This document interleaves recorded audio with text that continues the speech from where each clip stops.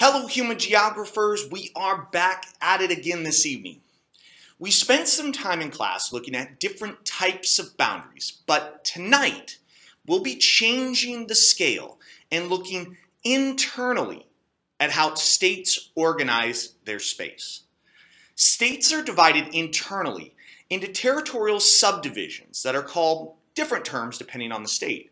Some call them regions, provinces, districts, states, prefectures, cantons, or any number of names. So let's start with how the central government interacts with those subnational units.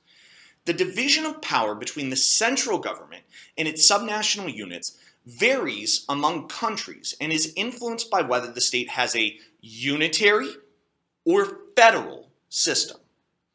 Both systems administer the day to day operations of governing with sovereignty, and the national government is the final authority. But in a unitary system, the state has a centralized government and administration that exercises power equally over all parts of the state. That means that the centralized government has most of the power. And I know this isn't a great definition because it doesn't necessarily lend itself to a lot of the details. Basically, here's what you need to know for a unitary system. The central government, or national government in this visual, holds all the power. The subnational units don't really get much power. In a federal system, though, a central government represents the various subnational entities within a state where they have common interests, defense, foreign affairs, and the like, yet allows these subnational entities to retain their own identity and to have their own laws, policies, and customs in certain spheres. The key here is to look at the relationship between the central government and the subunits when it comes to decision making and power. So let's look at this in a little more detail. Let's start with federal states. The authority of the government is shared between the central government or national or federal government, they go by different names, and the subnational units, including state or provincial governments. Then you may also have local governments like counties or cities that have certain powers as well. Regardless of the specifics of the country, federal systems are set up so that power is diffused throughout multiple levels of government. And we tend to see federal systems in countries with multiple ethnic groups that constitute a significant minority. This allows distinct cultural groups to make decisions that best suit that group. For example, federalism remains vital in Canada to counteract French Canadian demands for Quebec's independence. By emphasizing federalism, the central government allows more latitude for provincial self rule, thus reducing support for secession. Canada has also extended considerable self rule privileges to the Inuit and Native American groups of the North.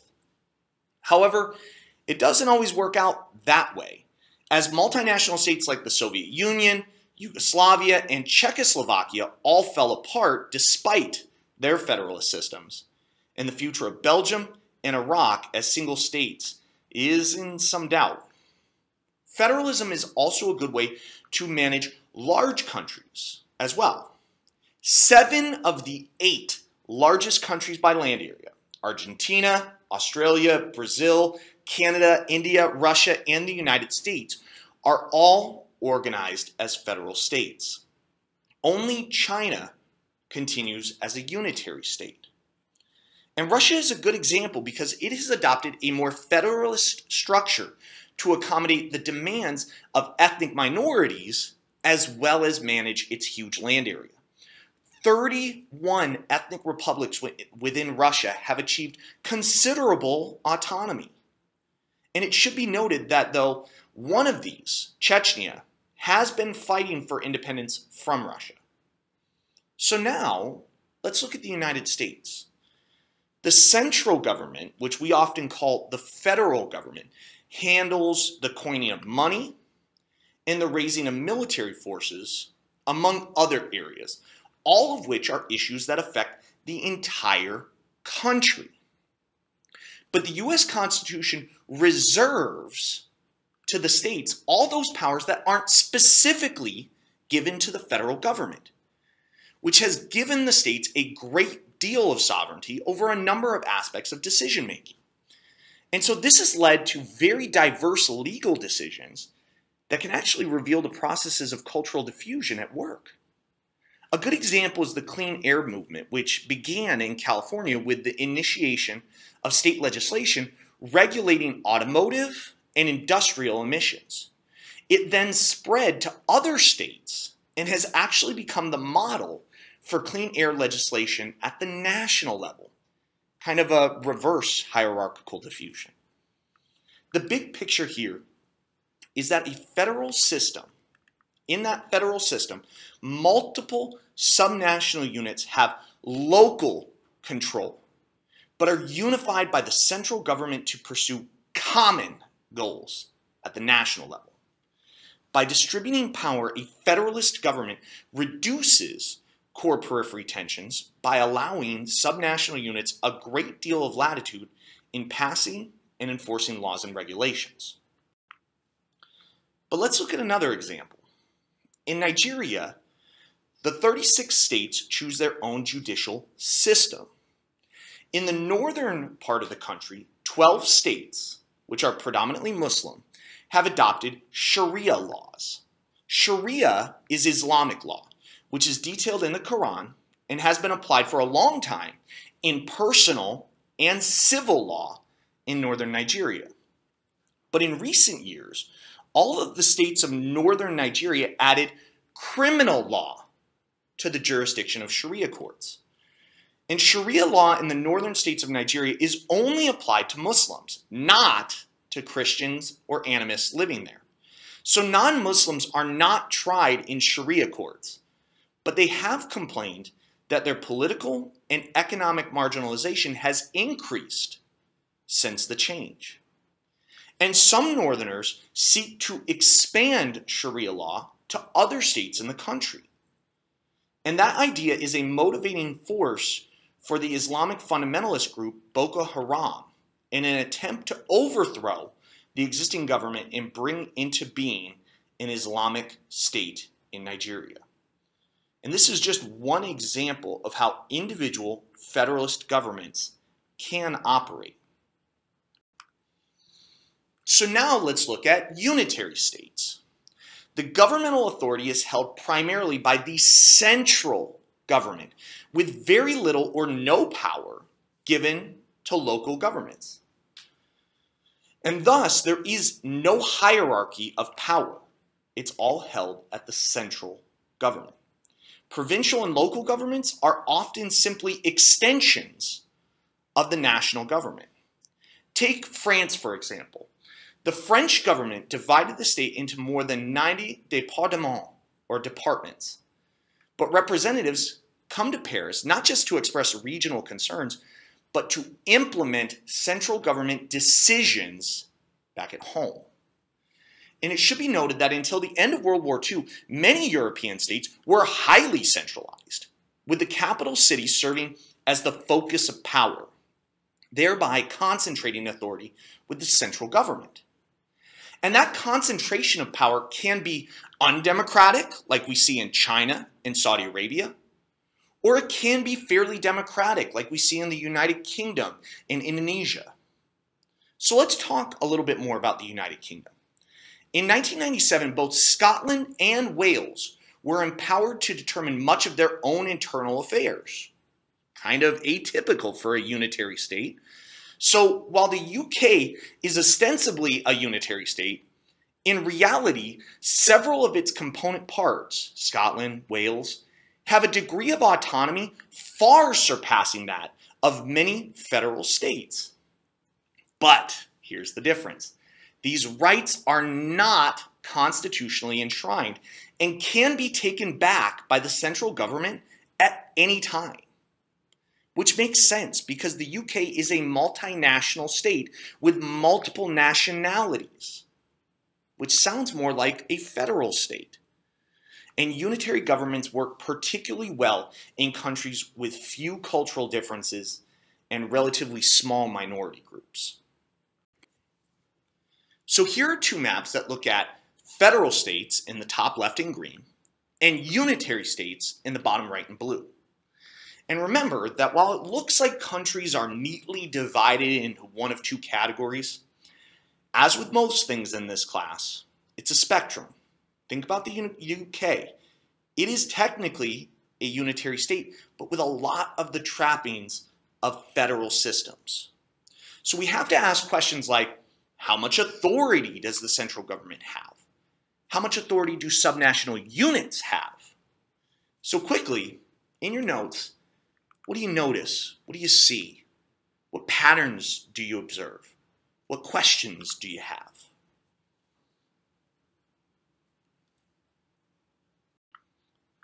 So let's try a quick little test. Which country is federal? Which country is unitary?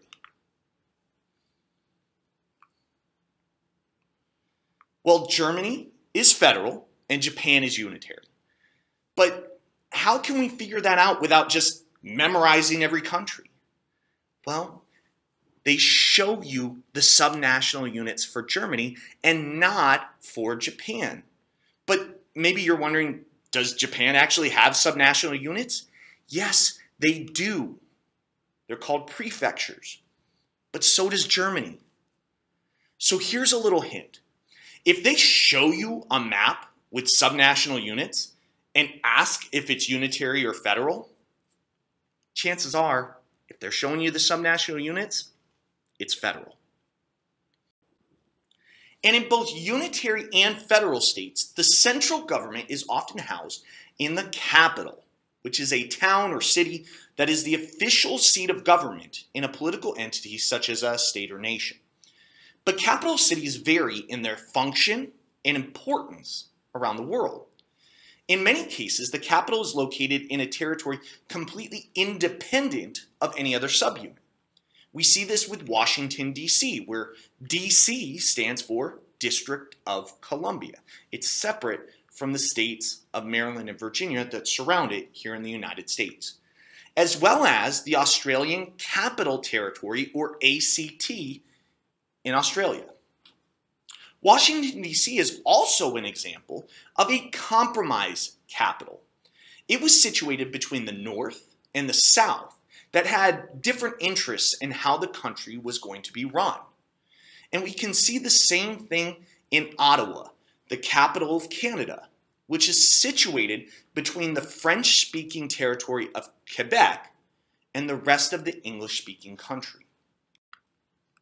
In Mexico, for example, Mexico City serves as both the political center of the country as well as the clear center of the country's population economy, and cultural life. Bolivia contains two capitals. La Paz is the administrative and legislative capital, and Sucre is where the judicial branch is seated. South Africa also has multiple capitals, three capitals, in fact.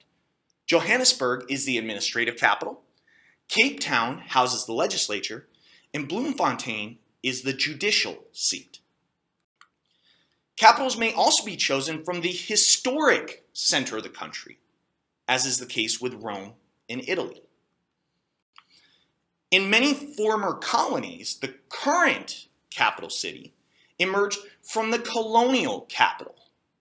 In Indonesia, the colonial capital of the Dutch East Indies was Batavia, which has since been renamed Jakarta, which remains the capital city, at least for now the country is planning to move the capital as the city of Jakarta literally sinks into the Java Sea. Speaking of moving capitals, some capitals are intended to help encourage people to move toward less populous areas. We call these forward thrust capitals, sometimes just forward capitals. Brazil moved its capital from the colonial capital of Rio de Janeiro on the coast to Brasilia to try and draw people to the interior. We can see this in other former colonies as well, in countries like Cote d'Ivoire, Tanzania, Nigeria, Myanmar, as well as Pakistan. Other capitals may be established in the most central area of the country. Such is the case when Turkey chose its capital of Ankara instead of the more important and populous city of Istanbul. Continuing to change the scale of governance, now we look at the local level, at entities such as counties, municipalities, school districts, regional planning commissions, and things like that. Because the United States has a federal system, there are often overlapping levels of government. So, for example, the government of the city of Las Vegas enjoys certain authority, but other powers are delegated to the Clark County Commissioners, who head up the government of Clark County. And both of these are superseded by the authority enjoyed by Nevada's state government, which in turn is superseded by the sovereignty exercised by the federal government of the United States. Just to give you some numbers, in the United States, there is one federal central government, over 50 state, commonwealth, and territorial governments, and over 87,000 local governments. And that 87,000 includes roughly 3,000 counties, 20,000 cities, 16,000 townships, 13,000 school districts, and 35,000 special purpose districts, such as regional planning commissions and police districts. To see what this is like in reality, in 2013, Illinois had 6,963 units of government. That's almost 7,000 decision making entities in one state. A typical resident lived with six or more layers of local government. So, what are all these units of government doing? Well, different tasks depending on the level. U.S. state governments provide for transportation, welfare, public higher education, and many aspects of environmental protection, as well as prison services. City and local governments provide safety functions such as fire and police, infrastructure such as water systems, support systems, power plants, traffic control, as well as some road construction and maintenance, and then educational functions, including the establishment and maintenance of public schools. And this division is done for a number of reasons. Basic efficiency, allowing government agents to respond more quickly, as well as greater flexibility, allowing for different approaches to governance based on the community in which it is centered. So now let's shift to another way that space is organized politically, and that is for elections. Electoral geography examines how people's political preferences are manifested in representation. So let's start with the different types of representation. In places like Europe, they use a proportional representation system, meaning that multiple representatives can be elected. Voters choose from among political parties rather than individual candidates, and legislative seats are divided on a proportional basis. So, for example, if a party received 30% of the votes, they would receive 30% of the legislative seats. And we tend to see this in countries with many political parties. But in the United States, we have a majority plurality representation, meaning that the person who receives a majority over 50%, or a plurality, meaning they have the most votes but didn't break 50%, the person that receives the most votes is elected. And this is called a single member district, meaning that the person who wins represents all of the voters in that electoral district. And we also see majority plurality systems in countries that have two dominant political parties. So let's talk further about the United States and its electoral system. We have a two house legislative branch at the national level, consisting of the Senate and the House of Representatives. In the Senate, every state gets two senators, regardless of their size. But the House of Representatives is based on population. So the bigger states have more representatives and the smaller states have fewer. In 1912, the number of representatives was capped at 435 and it stayed there ever since. These representatives are elected to districts that have similar sized populations. There are some states, though, like Wyoming, Montana, and Alaska, that are so small in terms of population that they only have one representative that covers the entire state. So the district boundaries are the state's boundaries. And these are called at large districts. But people move and populations shift. So, how does the House of Representatives take that into account? Well, every 10 years we have a census which counts the population of every state throughout the entire country. Then we can compare which states grew in population and which states shrank. And this is largely a product of internal migration throughout the country. Then we undergo a process called reapportionment. This is the process by which districts are moved according to population shifts, so that each district encompasses approximately the same number of people across the entire country. Some states will gain districts and thus gain representation in the House, while others will lose districts and representatives. For example, the so called Rust Belt, including Pennsylvania, Ohio, and Michigan, lost representatives after the 2010 census, while Sunbelt states like Georgia, South Carolina, and Florida, along with southwestern states like Arizona, Nevada, and Utah, all gained representation.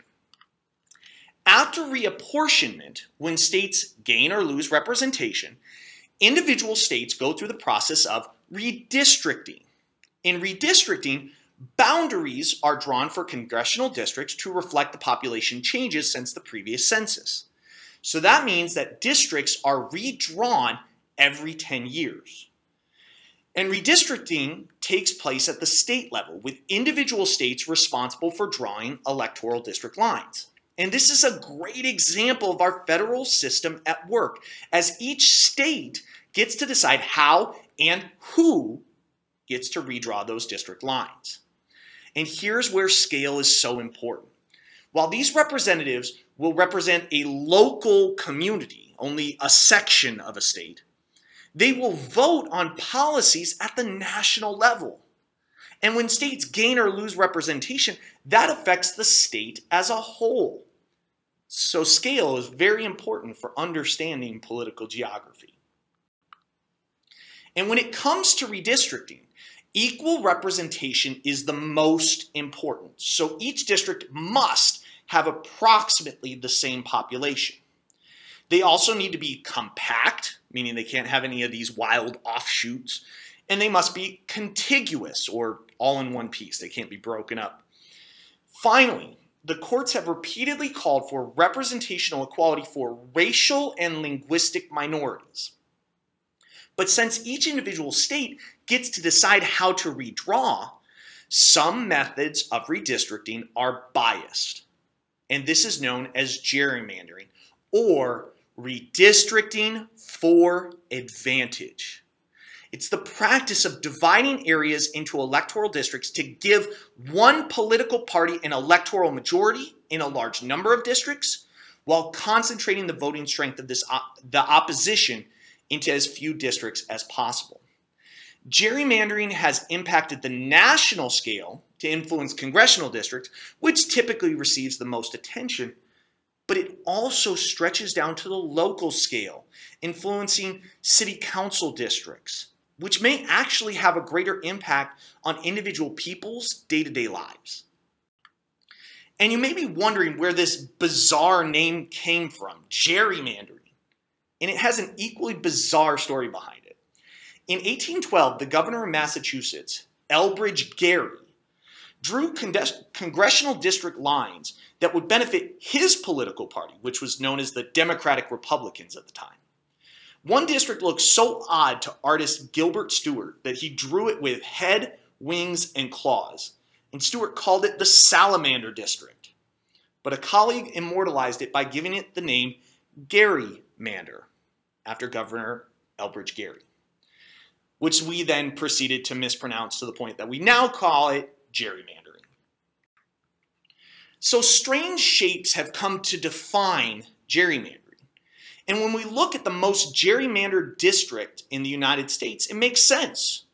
This is North Carolina's 12th congressional district and is the most gerrymandered district in the United States right now. In fact, North Carolina has three out of the 10 most gerrymandered districts after the 2010 census. And gerrymandering is illegal. But just because an electoral district looks strange, even if it gives one group or political party an advantage, doesn't necessarily make it illegal. The Voting Rights Act prohibits lawmakers from drawing lines that dilute the influence of minority voters. And in 1982, the Voting Rights Act was amended and interpreted to mean that states needed to redistrict in a way that would ensure minority representation. So this led to the development of majority minority districts where a district is redrawn so that a majority of its population is from a minority group.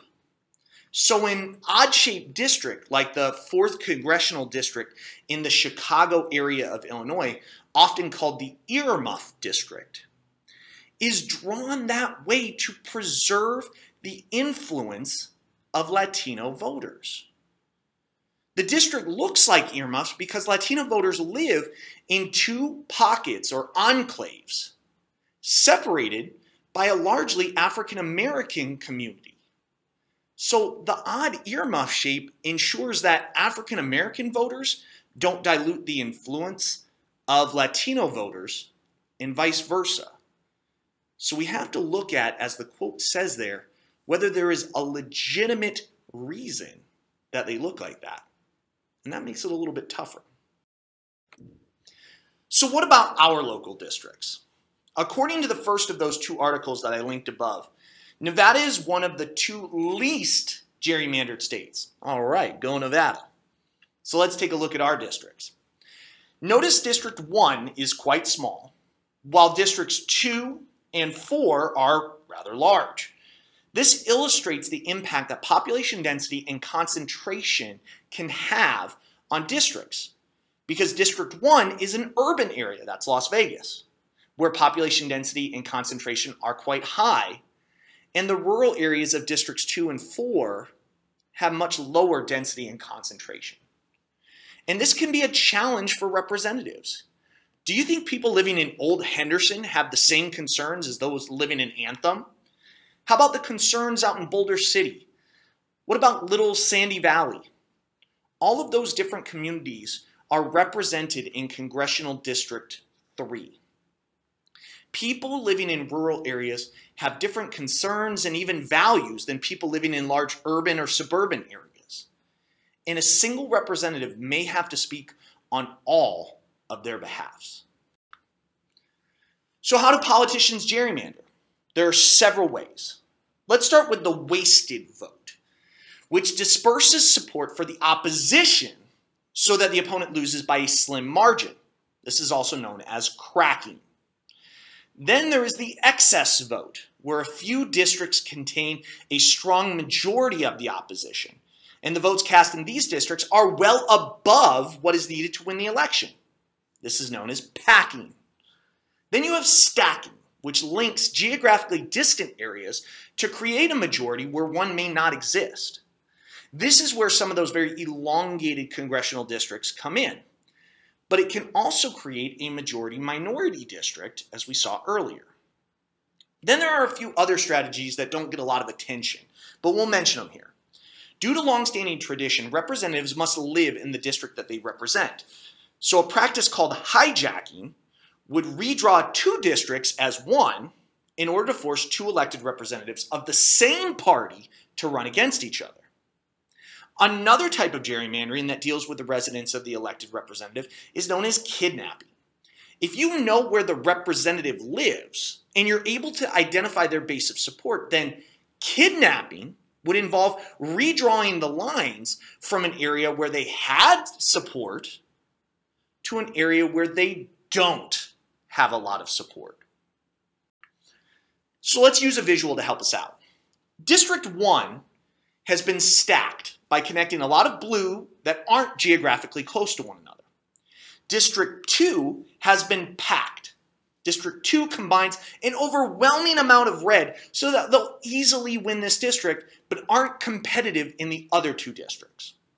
Finally, the reds in District 1 and 3 have been cracked, so they have nowhere near a majority. In this abstract example, regardless of the political parties, regardless of the candidates, regardless of voter turnout, regardless of the issues, the Blues win two districts and the Reds win one every time. Okay, so what? Why does this matter? What happens when electoral districts are gerrymandered?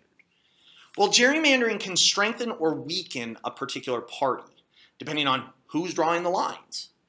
This means that it can also provide an advantage or disadvantage for individual candidates, particularly an advantage to incumbents, people who have already won election and are running for re-election. When very elongated districts are drawn, representatives may live far away from some or many of their constituents. They may also come from different ethnic or economic backgrounds. And this can lead to detachment between the representative and their constituents. We already discussed the creation of minority majority districts, which can provide a greater voice to a particular ethnic minority by packing or stacking areas of minority voters into a single legislative district. Voters may also be less inclined to participate if they believe that their vote won't impact the outcome because it will be wasted or far exceed the amount needed to win the election. And then there are a number of state and federal Supreme Court cases in recent years that have challenged the quality or validity of electoral district lines. And we'll examine some of these tactics and effects when we come back to class. Have a good evening, everyone, and I'll see you later.